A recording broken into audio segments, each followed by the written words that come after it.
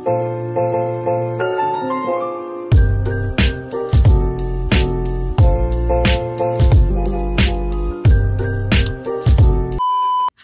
Welcome back to my channel. So today, um, kakatapos ko lang din maligo at nakapagsuklay na din ako. And um, Ate Angel and I are planning to go to Dollarama today. Kasi gusto niya bumili ng pitchel. Gagawa siya ng strawberry milk. So, I'm gonna do my skincare first and do a little bit of makeup and then I'll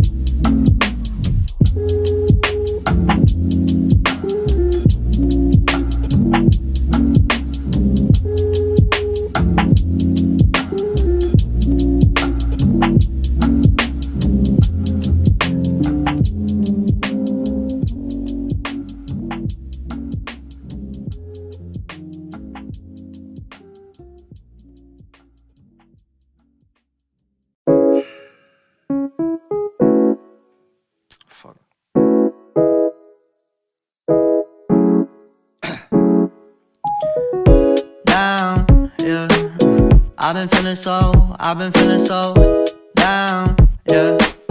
Can you tell me why? Can you tell me why I'm down, yeah? No friends of mine, no friends of mine around, yeah. Now I'm thinking I, now I'm thinking I might have caught the June blues,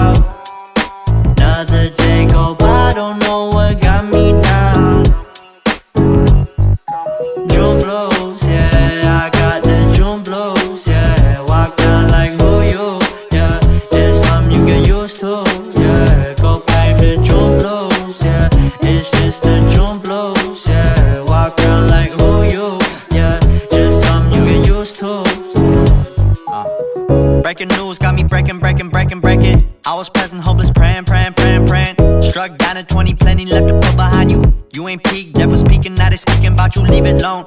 Hope you grin Grinning while you watch your bros on some soulful sunny shit to brighten up a wounded soul. Honest, you the penny, uh, pick a dull like Chevy, uh, New Age Machiavelli, uh, disagree, don't tell me, uh, now you with Infinity, we 98, trust that he be good. On the ball like BB, don't make no mistakes, got the faith. The 18 just not gonna be the same. Finna bleed down generations, not gon' be in vain. Too young, why you gotta go, why you gotta go? I just wanna know, I just wanna know now. True numb, cry and get no, cry and get. Hope you free your soul, hope you free your soul. I might have caught the June blues, yeah, I wanna drown myself inside the juice, yeah, you know I keep on running from the truth. So guys, we're gonna leave na. We're just walking towards Delarama. Why it's getting colder when the sun come out So guys, sa wakas na tumihit na rin dito sa Canada po, no? My God! Nakaraan, di kami makapaglakad, di kami makapaglabas. Ang lamig eh. Pero ngayon, kaya lang. So guys, naglalakad pa din naman kami.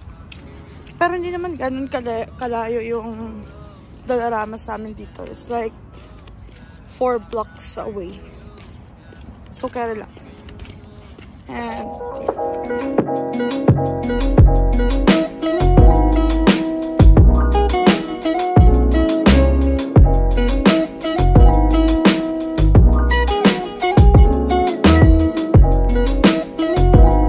So guys, nandito na kami.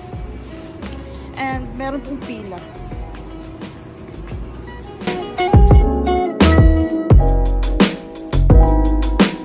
Kaya mo pa bang magantay? Yes, Are you patient? I am patient. What? Hospital patient. Ano yan? Picture, plastic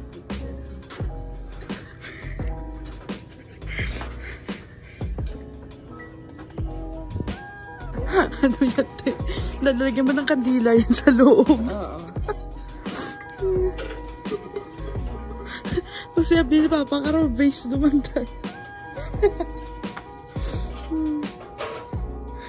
Bibili pala ako guys ng pamaypay kasi mainit na.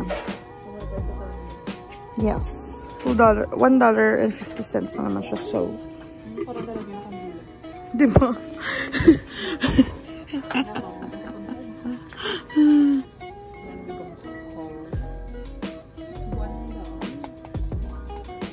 ba? Ginapate mo gina ah. Ako yung ginapate ah. Choice ba? Wala ka choice. Hindi ka ba karaguro mapatay kung suliton. Ano na siya isa lang? Isa na bakbak mo ta? A- Akala ko ba yung strawberry para sa ano yun? Oatmeal or... Wala eh. Naubos niyo banana. Tingin nyo tayo banana sa baba mama. Pinky. Yeah. Pink or strawberry.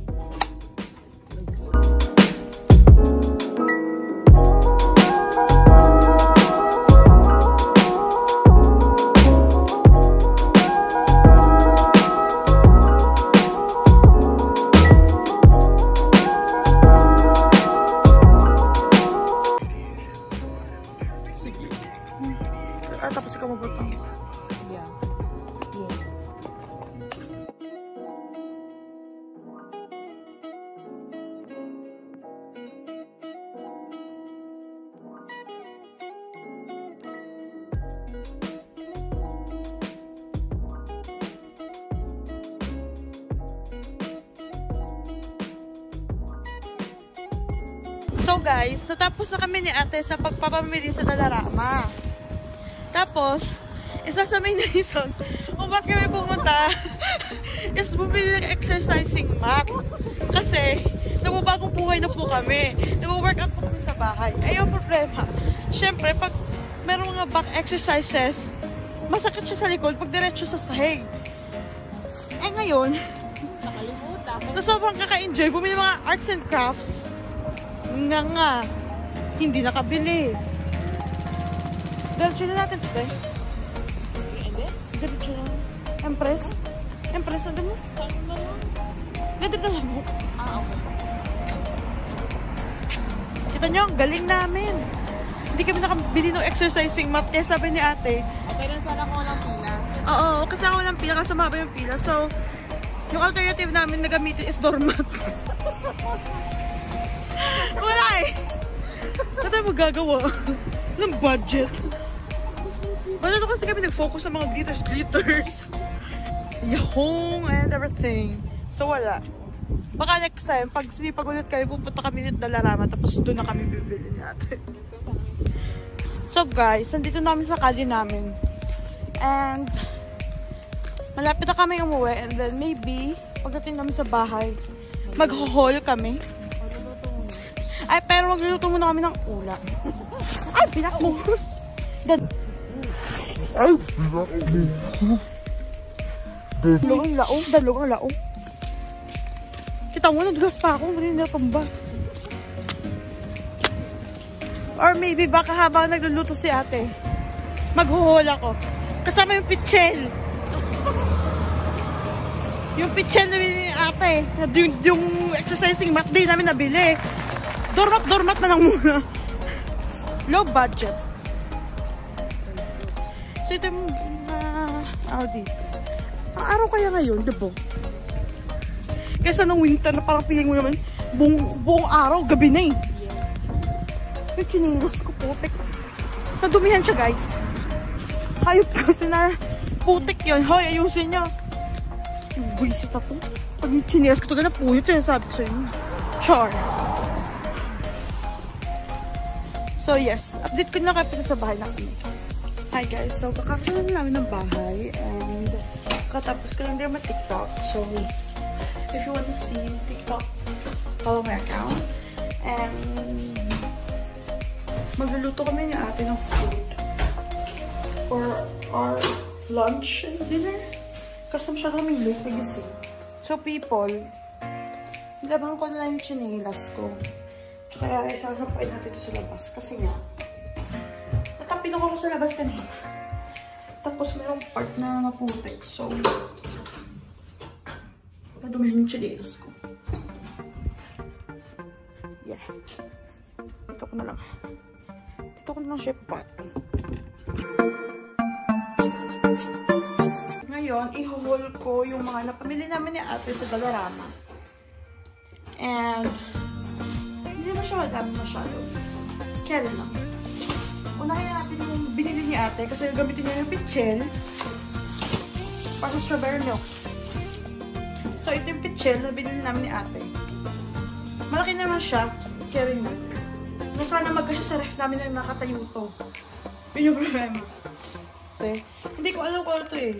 Mini bottles of sequins and glitters daw. Yeah, Pero, hindi siya mag-arts and crafts. Hindi siya gagawa ng project. Gagamitin niya to para sa ano, kuko. Kaso bumili siya, polygel nail kit. Oh, bumili kasi siya ng nail kit. Gusto niya kasi gumawa ng kuko niya. Eh kasi nga, di ba, may COVID, hindi makalabas. Hindi makapagawa ng nails. Tsaka ang mahal kayang pagawa ng nails. So, ito na lang. Bumili si ate ng ganito. Hindi ko alam ang tawag dito. Ano ba to? Storage case daw. Palagyan niya nung mga sequin-sequin tsaka glitters-glitters. Pa. Ito, glitters talaga to eh. Yung mga pang ano, alam mo yun, yung pag naglagay ka ng glue sa full heart, alam mo yun, tapos itakpak ng ganun. Pang ganung level to. Hindi, meron pang isa na, yan, yung fine color. Oh. Tapos, bumili si ate ng self-laminating sheets kasi may mga ano kami, meron kaming, ano tawag dyan? Yung mga first aid na cards, ganon. So, syempre, para hindi madumihan, kasi matagal din yung validity nun, mga 2 years din, 3 years. So, syempre, para hindi madumihan, bumili si ate ng ganito. And then, bumili siya ng container. Para sa to, te? Para sa lipstick. Parang acrylic eh. Wala daw acrylic eh. Walang stock ata ng acrylic dun sa Dalarama. Kaya ganito na lang yung binili niya ate. Yun na naman yung binili niya ate. So, bumili ako ng dry eraser. Gagamitin ko siya sa whiteboard kasi bumili ako whiteboard. And then, bumili ako ng ganito.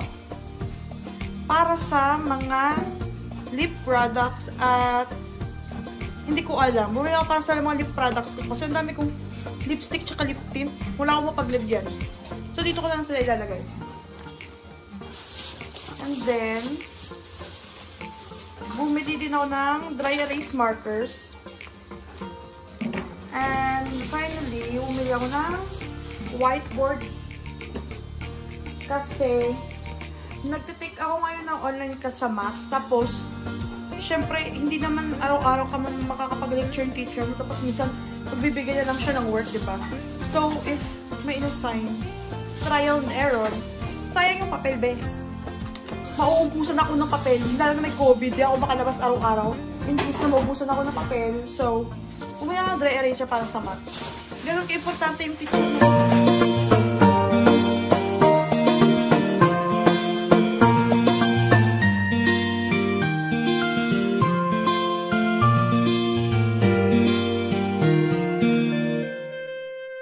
So, ngayon, habang sa ate gumagawa ng strawberry milk, ako naman, gagawa ko nung assignment ko kasi nag-procrastinate ako guys last week. Due siya nga ngayong araw, pero hanggang alas 12 pa naman mamaya. And, ngayon ko lang siya sisimulan. Ewan ko ba? Napakahaba pa naman, pero carry lang. So, yeah. Gagawa lang ako noon habang nakikinig sa hindi ko alam kung makikinig ba ako ngayon sa horror stories o makikinig ako K-pop music. Basta. Mag-horror na lang ako. Magtatakot na kami dito ang dalawa ni ate sa sal. Kami na naman tao dito eh, so it's okay.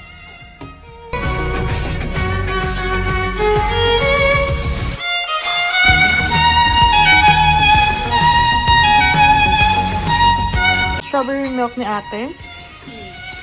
Yes. Lagyan na ng gatas. And yung strawberry shalabom sham siya.